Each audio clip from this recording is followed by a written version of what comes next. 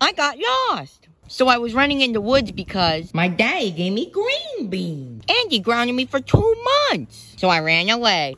ah!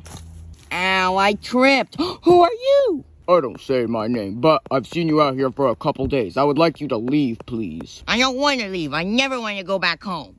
How about if I take you home so you can leave my home? I mean, it is kind of scary out here, and I'm kind of hungry, but how do you know where I live? That doesn't matter. Let's go. Okay, here's your home. Have a nice day. Thank you. Mm-hmm.